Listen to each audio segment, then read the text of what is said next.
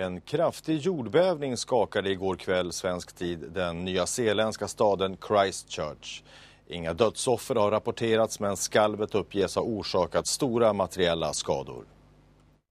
Det var halv fem på morgonen lokal tid och de flesta låg och sov när jordbävningen inträffade.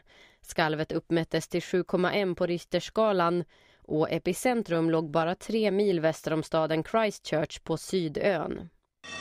Whole building felt as if it was actually going to fall over sideways and it was shaking back and forth um, as if it had been hit by something.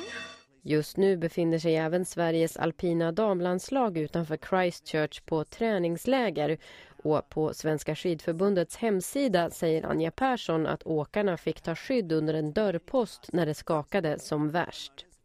Christchurch är Nya Zeelands näst största stad med över 350 000 invånare och skalvet ska ha raserat byggnader, broar och orsakat många brustna el- och vattenledningar. Oh my gosh, well that, that shake lasted uh, probably over a minute.